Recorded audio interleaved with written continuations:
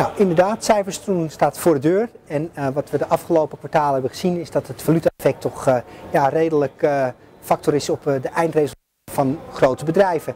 Een groot voorbeeld daarvan is DSM, die aan het begin van het jaar eigenlijk als eerste groot Nederlands bedrijf aangaf veel last te hebben van het valuta-effect. En op lange termijn verwacht ik dan ook dat het dalende euro een positief effect zal gaan hebben op de bedrijfscijfers. Echter, dit kwartaal denk ik dat we daar nog weinig van gaan terugzien.